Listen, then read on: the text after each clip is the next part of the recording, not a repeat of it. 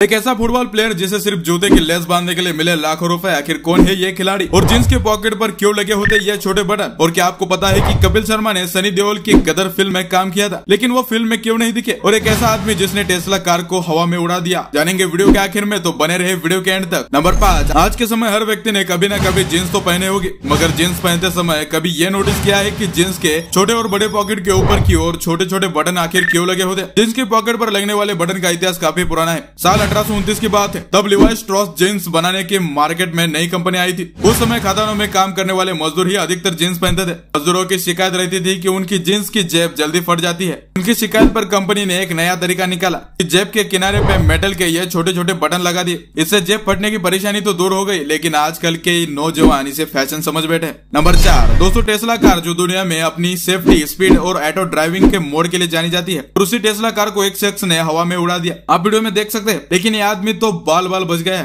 आखिर इसे कार को उड़ाने की क्या ज़रूरत पड़ी? ये तो हम नहीं बता सकते। लेकिन हमारे वीडियो में आने के लिए आप ऐसा कुछ ना करें। नंबर तीन, कॉमेडियन कपिल शर्मा, इन्हें कौन नहीं जानता? शायद आप भी उनके फ़ैन होंगे। लेकिन क्या आपको पता है की ये जब छोटे थे, तब उन्होंने सनी देओल की गदर फ़िल्म में भी काम किया था?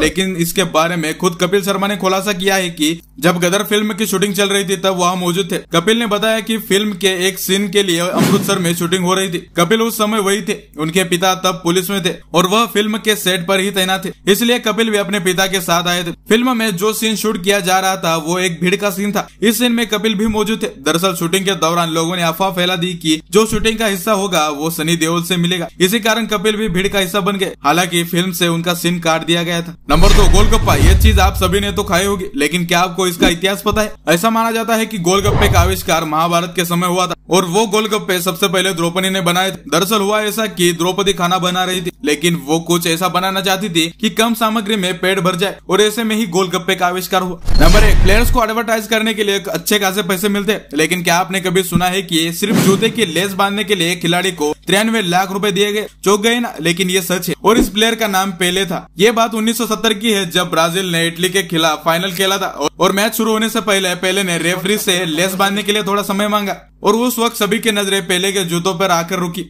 और वो जूते प्यूमा के थे। और यह थी पोमा की स्ट्रेटर्जी और इस स्ट्रेटर्जी से पोमा ने खूब पैसे कमाए और पहले को इतना करने के लिए तिरानवे लाख रुपए दिए। थी ना ये एक गजब की ट्रिक अगर आपको वीडियो पसंद आती है तो लाइक शेयर सब्सक्राइब ज़रूर कीजिए। मिलता है अगले वीडियो में।